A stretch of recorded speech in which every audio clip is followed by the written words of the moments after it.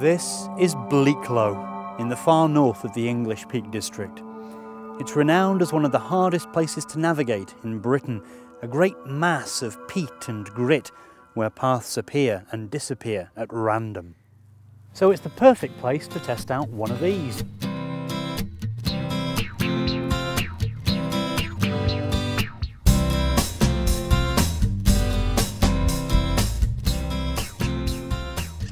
At brass tacks, a GPS is a tool for finding your location. But that's only a fraction of what a good GPS can unlock for you. To prove it, we're using a high-end model, the Garmin Montana 650T, which is a consistent strong performer in our magazines Country Walking and Trail. We like it because it's lightweight, it's robust, it's shockproof and waterproof.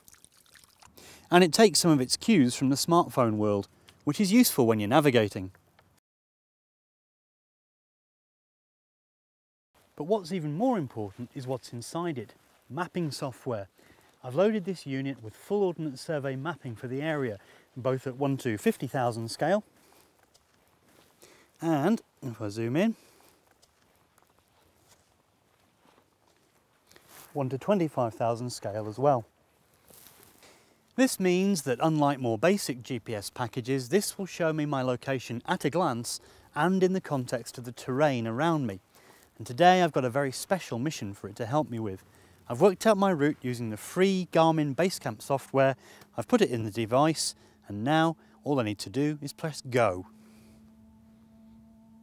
At the moment I'm following the Pennine Way, which is the only safe, clear and waymarked path across Bleaklow. But my goal is something that lies far off the beaten track.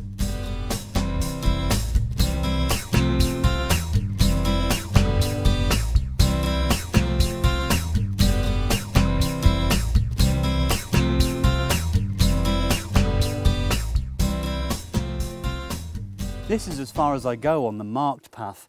Somewhere that way, in the wild of the moor, lie the remains of a Boeing Superfortress bomber which crashed on Bleaklow in 1948. It's one of the most dramatic and moving sights in the whole of the national park, but because it's so isolated, few people ever actually find it. I've been to it before, but it was without a GPS. It took a lot of hassle, taking bearings, following hunches, and going wrong quite a bit. The aim today is to walk straight to it. Using the mapping software, I've plotted what should be a simple and direct route to the wreck, avoiding any serious ascent and descent. On a more simple GPS, I wouldn't know what the terrain was doing around me, but here I can see perfectly. The unit provides added reassurance by showing me a compass and an altimeter, so I can check my position against spot heights on the map.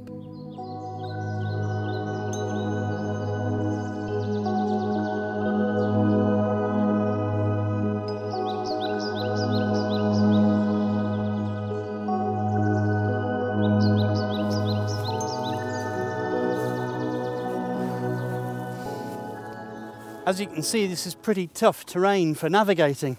It's very trackless, and uh, without one of these, I'd be in trouble. On the other hand, according to this, I'm right on top of it. Ah,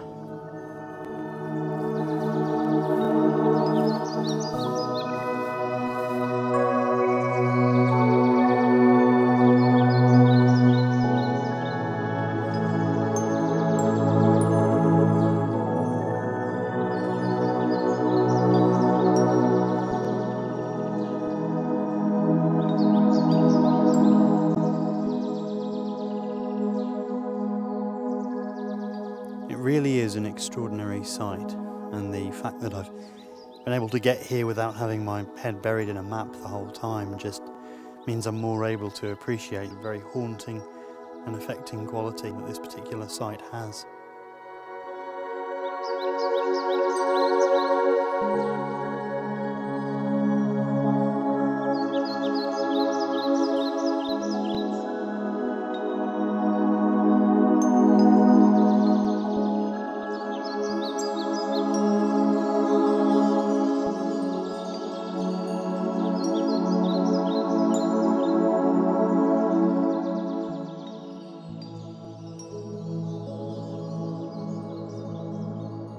One more thing to do while I'm here is a picture. The Montana comes with a 5 megapixel camera which will create images big enough to use in our magazines um, and obviously also to to tag and to share. Effectively I can take a picture of this and if I come back here I can ask the, uh, the GPS to walk to that picture.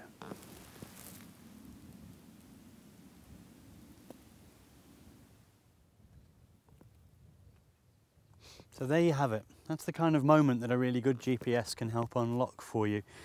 And as you lose all sense of direction once you arrive here, it's a good job I've got it to take me home. Thanks for watching.